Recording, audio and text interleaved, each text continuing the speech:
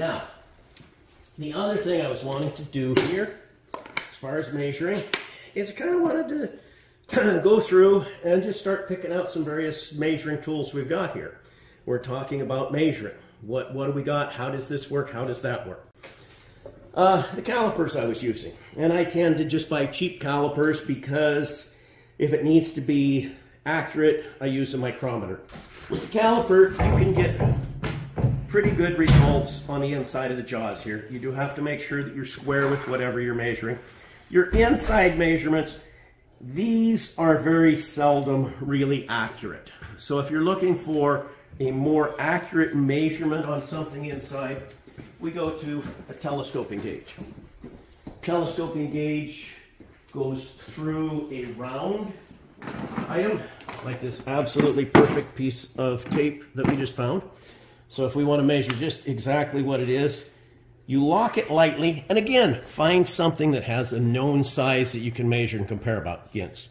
What you do, and this would be in a regular piece of tubing, you draw it through one time, let it self-center, imagining that you are trying to pivot around the one held end and let the second one center and push it into its smallest point. Then you can take it, even without going to a micrometer, you can take it, use your calipers and feel to where the caliper moves out the furthest amount. And that'll give you a pretty good measurement on these. Um, another way of measuring with these is a step measurement. A lot of people don't notice that right off. If you want to measure uh, the depth of something, then uh, I want to measure to that shoulder. We can do it, of course, which is really easily noticed. You can do it with the depth gauge that's on the back here. And you can go like that, and depending on how square you hit the item, you come up with a measurement for your depth that way. But it's also from here to here is also an equal. So you can come up there and come up against it on that part, and that gives you a real nice measurement. They call these a four-way caliper. That's something that came about mostly in the 80s. I kind of think it was there in the late 70s, but it wasn't everywhere. By the time 90s hit, even the cheapest of these had the four-way measuring option. Uh, Mitutoyo was the first one that I remember having that in, but uh, it could have been somebody else. Um, well, we can go through our stuff here. We have multiple calipers. There's where the nicer 12 inch ones I would have been looking for earlier playing with, but old school, old, old school. Her, inside calipers, little uh, feet there, you adjust these. You use these by feel inside of a bore, and then you can you can actually measure these with a micrometer. I'm not that good.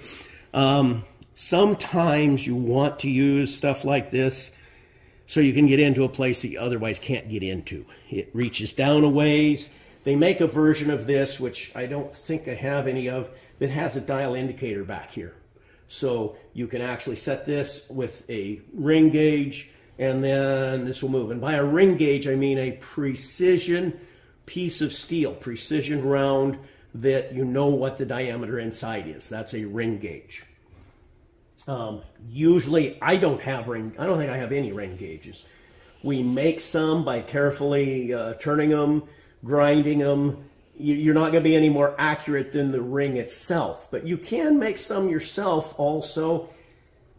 You can take, normally with a ring gauge, you're setting up a more accurate tool that might have multi-point contact. Instead of just two, it might have three contacts, and we could get into that in a little bit too.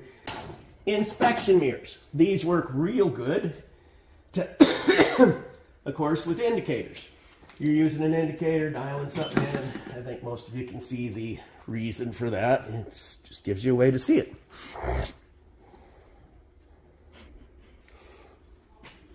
And this, of course, is uh, we took a chunk of steel and we put a, um, this was a probe for an in for a, a, milling machine. supposed to go in a milling machine spindle. We made a one inch, I'm sure that is, because that was what fits most of our boring heads, the, the more common ones. Of course, you've also got uh, coordinate measuring machines of a sense built on some of the machines that we've put the readouts on.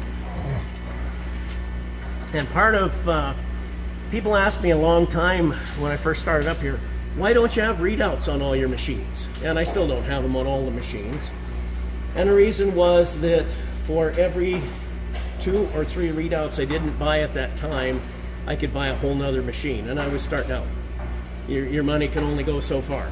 When I buy a new machine at this point, you bet you, it's already mounted up on there. We don't have to mess with it. It's the way to go. Um, they're way less expensive now. When I first started out, buying a readout for one of these was eight grand. Um, now, if you go to buy one, it's twelve hundred. You know, so it made sense not to buy them when I started. When people were picking on me, they were down around three thousand. Um, but still, I was at a point where it just didn't make sense yet to buy them and start putting them on. Now I've got ones I bought that we haven't put on. So, more about measuring stuff. In fact, this one here, this boring mill, we have one of the scales mounted for the x-axis. We have the y-axis partially mounted, and we don't have anything for the z-axis yet.